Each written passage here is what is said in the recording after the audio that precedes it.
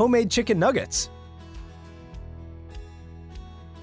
Here I have four slices of bread, so I'll start by removing the crusts. Then I'll cut it into pieces. Have you ever made homemade nuggets? I'll put everything in a blender, cover it, and let it grind until it becomes breadcrumbs. Once that's done, I'll remove the lid and put in two chicken breasts, which I've already cut up. Then I'll add 3 garlic cloves, 1 teaspoon of paprika, 1 teaspoon of black pepper, 1 tablespoon of soy sauce, cover, and mix everything very well. That part's ready. I'll take off the lid and the grinder. Here I'll add half teaspoon of salt, 1 tablespoon of oil, and mix well with my hands. I'm going to flatten up our mixture like this. And I'm going to make these square cuts.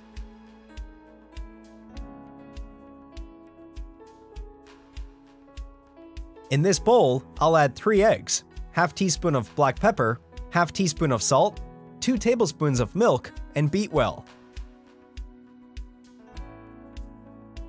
I'm going to take one of these and dip it in the egg mixture. I'll do the same with all the nuggets. I have breadcrumbs here. We're going to bread our nuggets here, spreading plenty of flour. This is the healthiest way to eat nuggets, and once you've seen this recipe, you'll never want to buy store-made again. In the pan, I'm going to add oil. When it's hot, I'm going to add our nuggets in, one by one, and let them fry.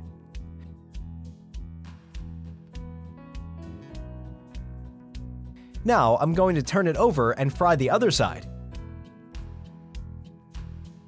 And that's it. I'm taking them all out of the pan.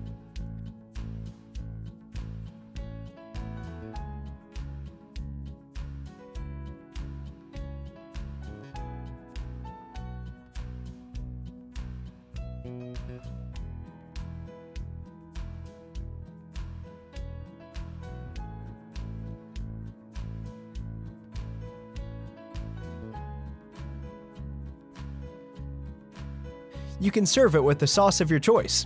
Look how delicious it is! See you in the next video.